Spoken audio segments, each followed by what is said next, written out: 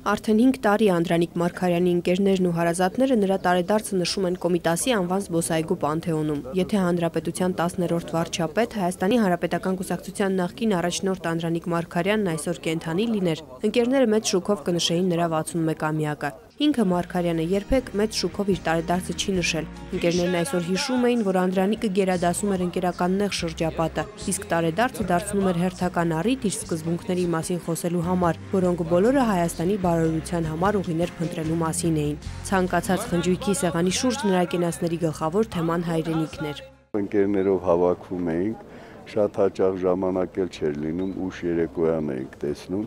Ամենայն դեպս նշում ենք եւ իր տարեդարձը եւ մեր բոլորի տարեդարձը։ Ծաղիկներ Շիրիմին ու հարգանքի տուրք Հայաստանի Հանրապետության ամենաերկարակյաց վարչապետի հիշատակին։ Այստեղ են նրա կուսակցական ու աշխատանքային ընկերները, երկրի ղեկավարն ու գրեթե ամբողջ իշխող վերնախավը։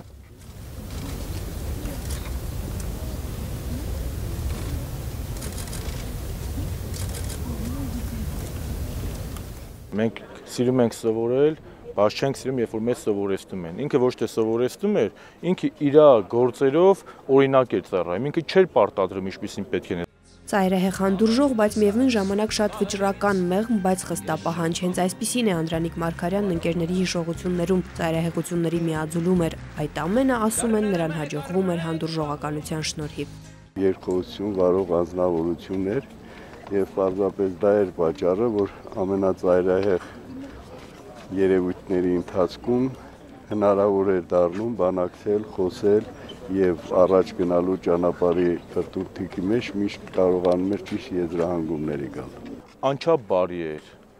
անչափ սիրով էր, անչափ զգացմունքային էր ու ամենակարևորը շատ լավ գիտակցում է, որ մեր բոլոր խնդիրները գալիս են մեր ոչ միաբանությունից։ Նա մենքի գաղափարախոսության կրող էր եւ միասնականության արդյունավետությունն ապացուցում էր սեփական օրինակով։ Ժողովրդի համար նա յուրային էր։ Յուրային է եւ այսօր մահից 5 տարի անց, երբ նրա շիրիմին խունկ են ծխեցնում ոչ միայն հարազատներն ու ընկերները, այլև բազմաթիվ անծանոթ մարդիկ։ Ցոլնե Միքայելյան, Արտուր Հունանյան, ժամը լրատվական։